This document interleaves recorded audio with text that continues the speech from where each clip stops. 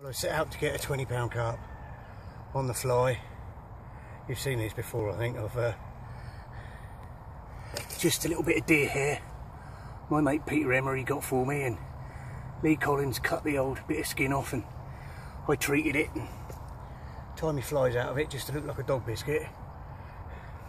Eight weight fly rod.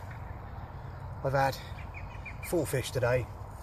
One from a different lake, a little one. 10 and then I've had an 11 and a half and one about I don't know must have been about four or five pound. Could see a big fish here. Just kept swimming round and round mopping up biscuits like it was like its life depended on it. Chuck the fly over it lo and behold first time bang. How long did it take to land Ben? You got it stuck in the weed, it must have been 10 minutes. easy easy. It went from just weed bed to weed bed really didn't it? Nightmare. Got it on the mat. Didn't realise how big it was until we properly saw it it's not quite 20 pounds. How big was it, Ben? It's a nice one, 1810. 1810, so it's a smidgen, a smidgen under.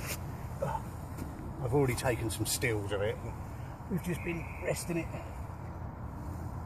Make sure its fins are all right. We've just been resting it in the margins. Letting it get its breath back, let me get my breath back. Um, like I said, not not quite. Not quite 20 pounds but um not far off. Not far off I'm certainly not going to complain. Uh, and there she is. 18, 18 what was it Ben? 1810? 1810 so a pound and five ounces off the target I wanted to hit but Nice mirror carp.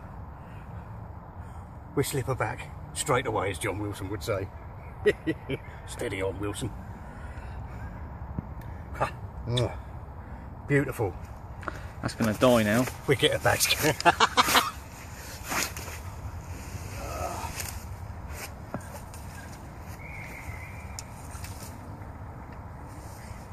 Magic stuff. That do, you can just stop it there, I